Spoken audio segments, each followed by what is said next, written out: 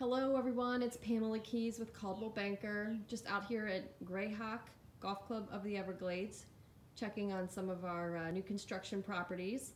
We have three out here under construction right now. Sending some quick video updates to our customers who are out of out of the state.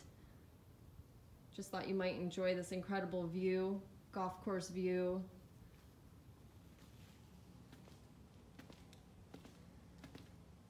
Pulte community. It's beautiful. So uh, hopefully everyone's having a great Friday and you have a wonderful weekend.